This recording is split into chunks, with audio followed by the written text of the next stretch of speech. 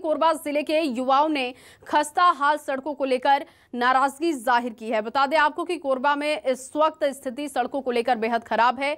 ये तस्वीर देखिए जगह जगह पर गड्ढे हैं। खस्ता हाल सड़कों को लेकर प्रदर्शन किया गया। अनोखे तरीके से सरकार का विरोध ज़ाहिर किया गया। बरसात के मौसम में इन गड्ढों में पानी भर जाता है। आमतौर पर लोगों को परेशानी होती है।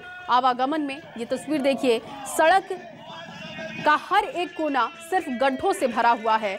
और ये कहना बड़ी मुश्किल है कि सड़क पर गड्ढे हैं या गड्ढों में सड़क है, क्योंकि जो तस्वीर आप देख पा रहे हैं, इससे ज़ाहिर हो रहा है कि सरकार आम जनता के सरोकार को लेकर गंभीर नहीं दिखाई दे रही है। कई बार इस बात की शिकायत की गई है, कई बार हादसे हो चुके हैं, बावजूद इसके अब तक कोई गंभीरता नहीं है, जिसके बाद युवाओं ने अनूठे तरीके से प्रदर्शन किया है, जिसकी तस्वीरें इस वक्त आप कोरबा से देख पा रहे हैं।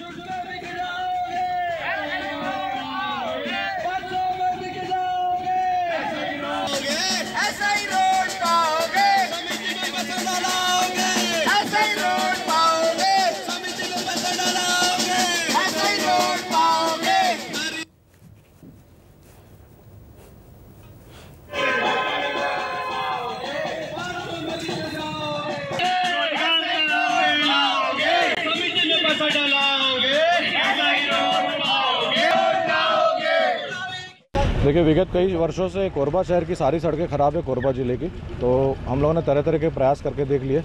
लेकिन जो अंत में समझ में आया कि इसके लिए जिम्मेदार जनता खुद है, जो उन्होंने चुनाव किए हैं अभी तक, उसके लिए वो लोग खुद जिम्मेदार हैं। तो हम जनता को जागरूक करने की कोशिश कर रहे हैं कि जो दस रुपये के टोकन में मुर्गे मिलते हैं, यहाँ पर वो ना खाएँ, पाँच रुपये में अपने आप को ना बेचें, दरी, बर्तन, ढोल, इस तरह की चीज़ों में अपने आप को पाँच साल को ख़राब ना करें।